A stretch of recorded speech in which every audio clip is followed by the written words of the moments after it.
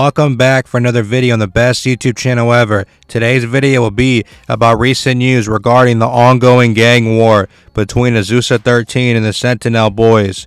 Another life has been lost in the war. Here's the details. Last Friday, a man was shot dead and two other people were wounded during a gang-related shooting in front of an apartment complex in Azusa.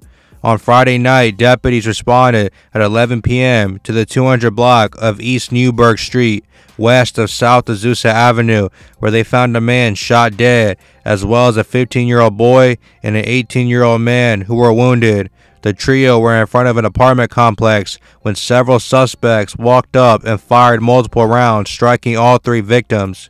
The deceased victim was later identified by the coroner's office as 20 year old Carlos Cruz of Azusa. Carlos Cruz was from the Azusa 13 gang.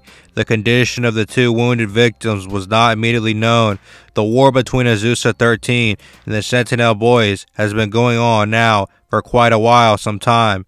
The war started when Sentinel boys, originally from East LA, migrated over to Azusa, and obviously, with that, territorial disputes are highly likely.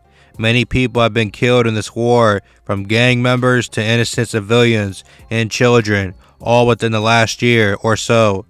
And with this most recent killing, it's just going to continue with people killed, gang member or not, in the ongoing war between Azusa 13 and the Sentinel Boys gang. I covered this war before, the link will be at the end of the video.